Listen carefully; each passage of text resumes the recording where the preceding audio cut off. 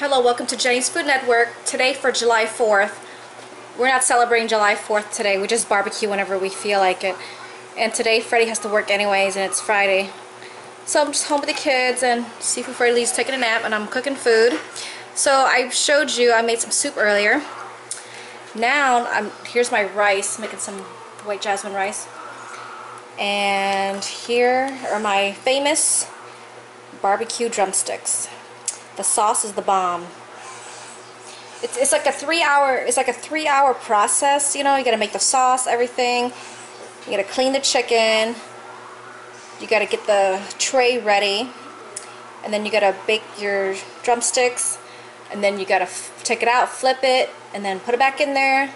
And then you gotta bring it back out again and dip it in the famous barbecue sauce of mine.